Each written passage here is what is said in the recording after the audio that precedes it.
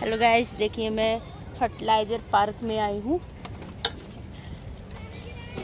और यहाँ पे देखिए, बहुत बड़ा एक ग्राउंड है, बहुत बड़ा ही ग्राउंड है। मैं चौबीस वीडियो बना रही हूँ। आने का अलाउ नहीं है इधर महिलाओं को। तो चल जाती इधर देखिए सब जगह ट्रेनिंग हो रही है।